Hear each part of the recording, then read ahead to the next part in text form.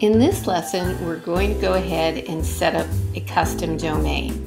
Now, maybe you want to get an extra cup of coffee or another glass of water because this is a little bit involved, but trust me, we're going to get through it without any problems, I promise.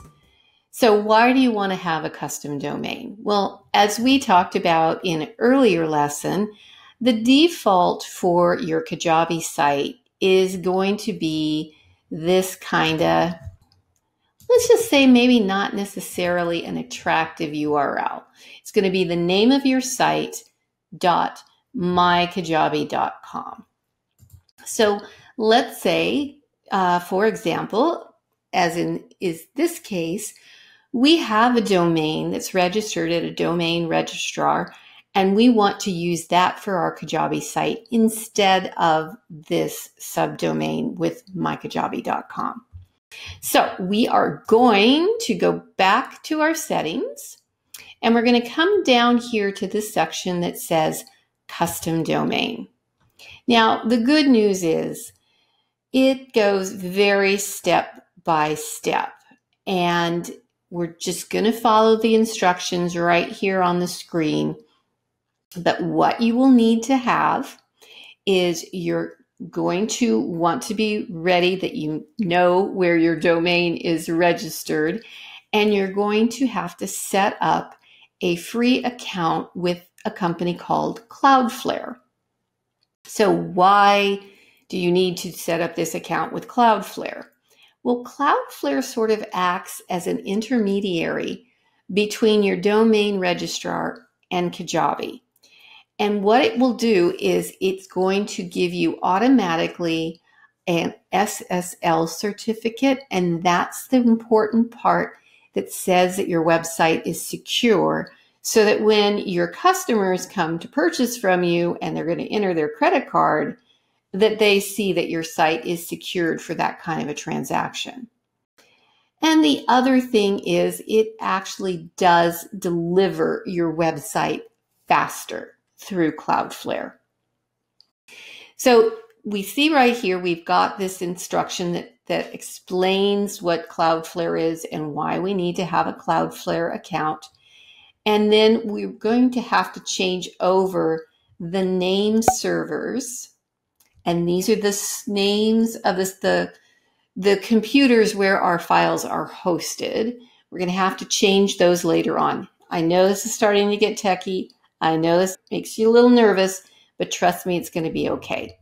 So the first thing we're going to do is we are going to come over here to Cloudflare, cloudflare.com, and I'm going to sign up.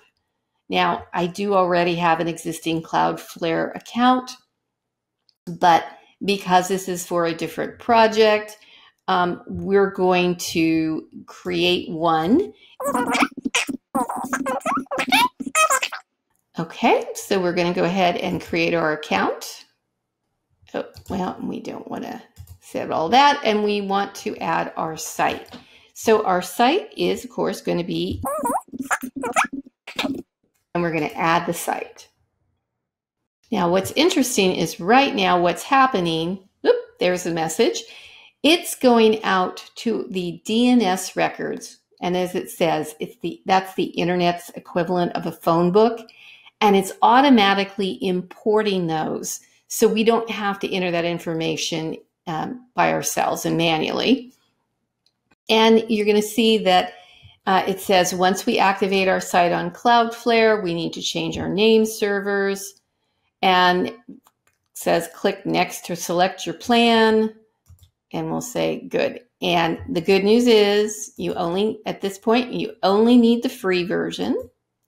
We're going to confirm our plan. And so now it has said it scanned our existing DNS records to make sure that everything is going to run smoothly. Now that's the one thing is um, I want to make sure that it's uh, it's clear.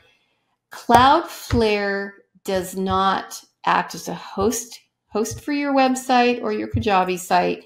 It isn't your domain registrar. If you had your domain registered at GoDaddy, it's still at GoDaddy. And Cloudflare does not host your email.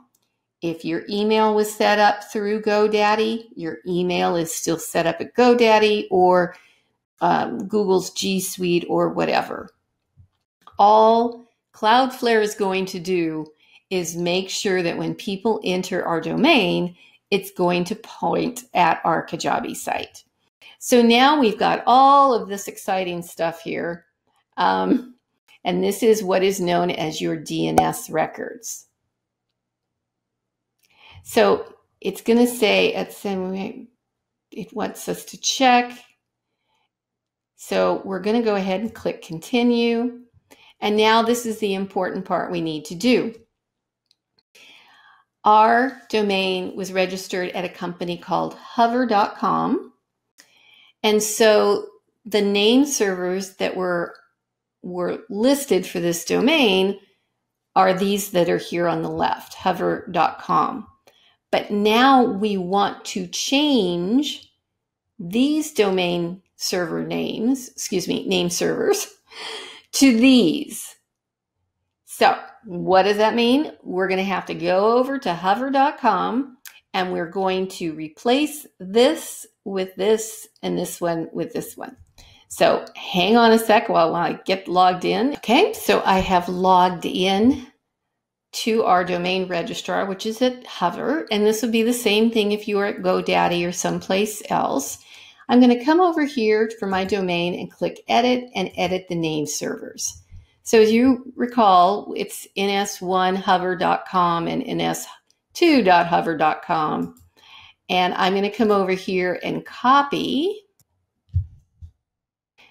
paste in the name server from uh, Cloudflare copy the second one. Okay, so we're going to save our name servers and we're going to go back over to our Cloudflare and we are going to go ahead and click continue. So it's making sure that we've done it. So we have done our steps. We've removed the name servers that were there. We have replaced them with the Cloudflare name servers. And it does, it says it may take up to 24 hours, but typically it does not take that long. So we're going to click recheck now. And it also says that we need to check back in a few hours. So it, it's interesting because I've found it typically is much faster, but it'll let us know that we'll be notified by email once the site is active. Okay, so we, you can see now that we have completed step one. And as soon as those name servers are updated, we're going to complete step two. Now, because I know a lot of people use GoDaddy for their domain registration, I just want to show you where you're going to find that information to change the name servers in GoDaddy. So when I have logged in, um, the first page that does come up are all of the, the domains that I have, and believe me, I've got a lot of them. So let's just say, for example, it was this one that I wanted to change uh, and add it to the, the Cloudflare name servers to it. I'm just going to come over here and you see right here the magic three letters DNS. And we're going to click on that. And you can see it comes up and it shows us all of those records. Now, if you scroll down here, you could see it said it's using the default name servers, which are the GoDaddy name servers.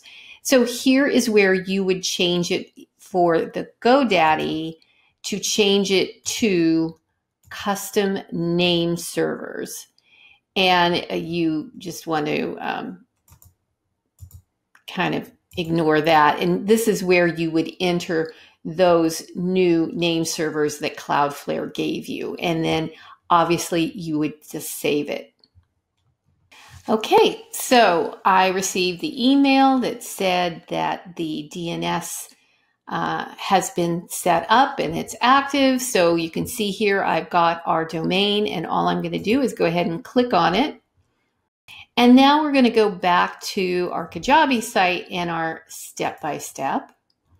And it, so now our DNS is all set up at Cloudflare. Now we need to add something called a CNAME record that's going to redirect the host name to point to Kajabi. Oh my gosh, I know that sounds like way, way too much stuff, but just follow the step by step. We're going to create a CNAME record and we're going to call it www. And this is important. We want the domain name to be endpoint.mykajabi.com. Don't use your Kajabi subdomain here. And I'm going to make it easy because I like easy. I'm going to highlight these and right click and copy. Of course, I'm on a PC. So if you're on a Mac, that's your command copy.